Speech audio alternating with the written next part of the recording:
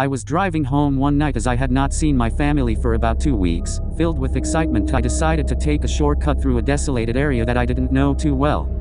I had heard stories through the scanner about it and I do as a matter of fact believe in ghosts but my eagerness to surprise my wife and kids got the best of me. It was about 3.40 am or so in the morning and I had been on that particular road for about an hour already and nothing out of the ordinary had happened. Suddenly, I get to an area packed with old creepy trees on the side and tons of shrubbery. As usual, my radio was on and out of nowhere this horrible static starts to crackle through the speakers. I started to feel chilly and uncomfortable when wouldn't you know it, I saw a man hanging from a tree on the side of the road. There he was, his body was even swinging from side to side. I stepped on the brake as fast and carefully as I could but I kept looking through the rearview mirror and he was still there. I grabbed my coat, my gun, and my flashlight and I had my phone in my pocket and I started to dial 911, but there was no signal. I made my way through the shrubs and when I reached the tree, he was gone.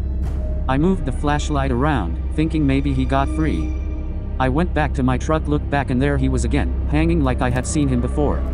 After this, let's just say I didn't like taking shortcuts anymore.